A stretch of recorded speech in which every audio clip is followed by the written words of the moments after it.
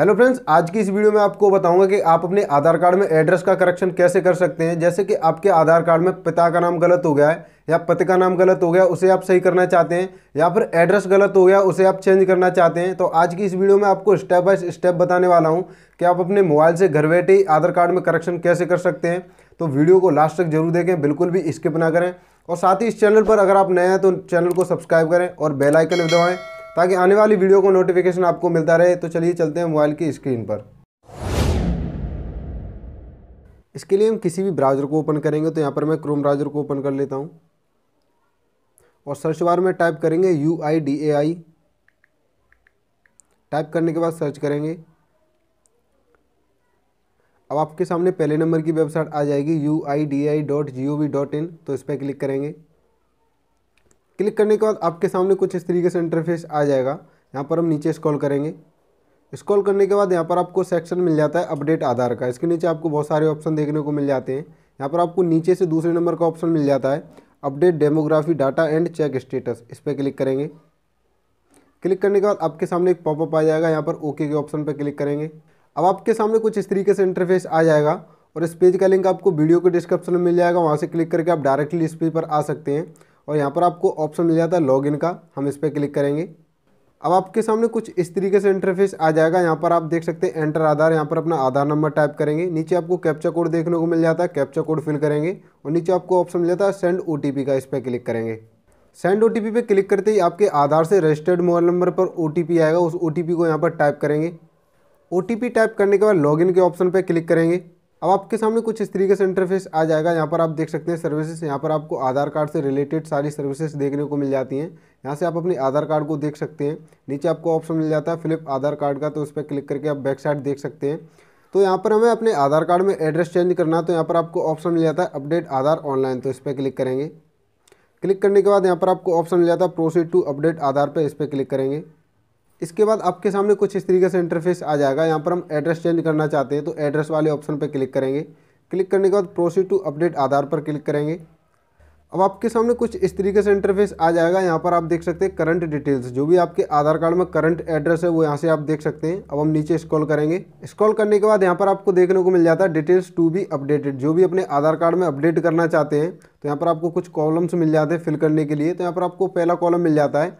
जैसे आप अपने पति का नाम चेंज करना चाहते हैं यहाँ पर आपको एक्सटेंशन केयर ऑफ़ टाइप करना है। उसके बाद जो भी अपने पति का नाम है, वो टाइप करेंगे। अगर आप किसी लड़के के आधार कार्ड में उसके पिता का नाम चेंज करना चाहते हैं तो यहाँ पर सन ऑफ़ टाइप करके उनके पिता का नाम टाइप करेंगे। या फिर किसी लड़की के आधार कार्ड में उसके पिता का नाम चेंज करना चाहते हैं तो यहाँ पर डॉटर ऑफ़ टाइप करेंगे। उसके बाद जो भी पिता का नाम है, वो टाइप कर लेंगे। तो यहाँ पर यानी कि पति के नाम में करेक्शन कर रहा हूँ तो यहाँ पर पति का नाम टाइप करेंगे सही तरीके से।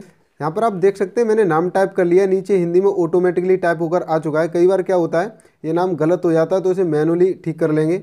नीचे आपको मिल जाता है हाउस बिल्डिंग नंबर जो भी आपका हाउस बिल्डिंग नंबर है, नीचे टाइप करेंगे। इसके नीचे आपको ऑप्शन मिल जाता है स्ट्रीट रोड जो भी आपकी गली या रोड है, यहाँ पर वो टाइप करेंगे। इसके नीचे आपको ऑप्शन मिल जाता है स्ट्रीट रोड लाइन जो भी आपकी गली या सड़क है, वो यहाँ पर नाम टाइप करेंगे। इसके नीचे आपको मिल जाता है एरिया लोकलिटी सेक्टर जो भी आपकी कॉलोनी है या सेक्टर है, वो यहाँ पर टाइप करेंगे। इसके नीचे आपको ऑप्शन मिल जाता है लैंडमार्क का, यानी कि आपके घर के आसपास फ़ेमस जगह। जैसे कि मंदिर है या फिर कोई टावर है या फिर कोई भी फ़ेमस जगह है, वो यहाँ पर टाइप करेंगे। टाइप करने के बाद जो भी आपके एरिया का पिन कोड है पिन कोड को टाइप करेंगे। नीचे आपको ऑप्शन मिल जाता है गाँव कस्बा शहर, जो भी आपका गाँव है या कस्बा शहर है, उसका नाम टाइप करेंगे। नीचे आपको ऑप्शन मिल जाता है पोस्ट ऑफ़िस का, यहाँ पर जो भी आपकी पोस्ट ऑफ़िस है, वो टाइप करेंगे। इसके नीचे आपको मिल जाता है डिस्ट्रिक्ट जो भी आपकी डिस्ट्रिक्ट है। वो यहाँ से चूज़ करेंगे। नीचे आपको मिल जाता है स्टेट आपकी जो भी स्टेट है वो यहाँ से चूज़ कर लेंगे। पूरा एड्रेस फिल कर लेने के बाद नीचे आपको ऑप्शन मिल जाता है सिलेक्ट वैलिड सपोर्टिंग डॉक्यूमेंट यहाँ पर आपको आधार कार्ड में करेक्शन के लिए डॉक्यूमेंट को अपलोड करना है। तो इस पर क्लिक करके अपने डॉक्यूमेंट को चुन लेंगे। यहाँ पर आपको बहुत सारे डॉक्यूमेंट देखने को मिल जाते हैं। जैसे कि आप यहाँ पर, आप देख सकते हैं, आधार लेटर, अपने जो भी आधार लेटर वो यहाँ पर अपलोड कर सकते हैं। आर्म लाइसेंस, गन का कोई लाइसेंस को अपलोड कर सकते हैं। नीचे आपको बहुत सारे डॉक्यूमेंट दिए गए, क्रेडिट कार्ड स्टेटमेंट भी अपलोड कर सकते हैं, ड्राइविंग लाइसेंस भी अपलोड कर सकते हैं। यहाँ से आप लैंडलाइन का बिल भी अपलोड कर सकते हैं। नीचे आप देख सकते हैं, व्हीकल्स रजिस्ट्रेशन सर्टिफिकेट भी आप अपलोड कर सकते हैं, वोटर आईडी कार्ड भी अपलोड कर सकते हैं और वाटर बिल भी अपलोड कर सकते हैं। तो यहाँ पर मैं वोटर आईडी कार्ड को चूज़ कर लेता हूँ।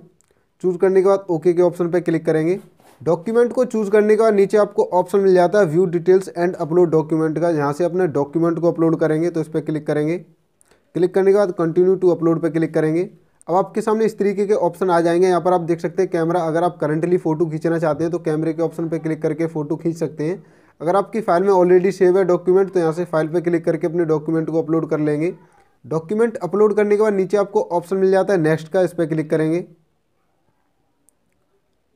क्लिक करने के बाद आपके सामने कुछ इस तरीके से इंटरफेस आ जाएगा। यहाँ पर आप देख सकते हैं न्यू एड्रेस जो भी आपने नया एड्रेस टाइप किया, वो यहाँ से आप देख सकते हैं। अगर इसमें भी कोई गलती होगी तो यहाँ पर आपको ऑप्शन मिल जाता है एडिट अपडेटेड का तो इस पर क्लिक करके आप सही कर सकते हैं। इसके बाद हम नीचे स्क्रॉल करेंगे। स्क्रॉल करने के बाद यहाँ पर आपको टर्म एंड कंडीशन को एक्सेप्ट कर लेना है। एक्सेप्ट करने के बाद नेक्स्ट के ऑप्शन पर क्लिक करेंगे। क्लिक करने के बाद आपके सामने कुछ इस तरीके से इंटरफेस आ जाएगा। यहाँ पर आप देख सकते हैं चार्ज पचास रुपये अपने आधार कार्ड में करेक्शन कराने के लिए यहाँ पर आपको पचास रुपये का चार्ज देना पड़ेगा।